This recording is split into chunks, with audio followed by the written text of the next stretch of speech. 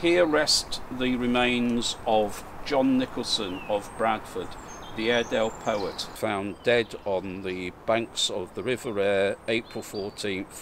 Bingley, thy beauty, Bingley, never has been sung by stranger bard or, or native poet's tongue.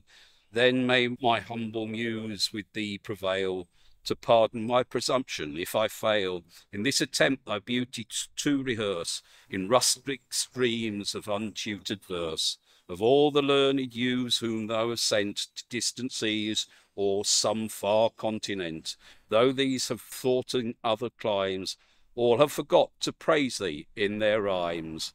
When on thy lovely vale I stand to gaze, I feel needest from thee no need of praise. Thy hanging woods, thy fountains, and thy bowers, thy dashing floods, thy landscape, and thy flowers.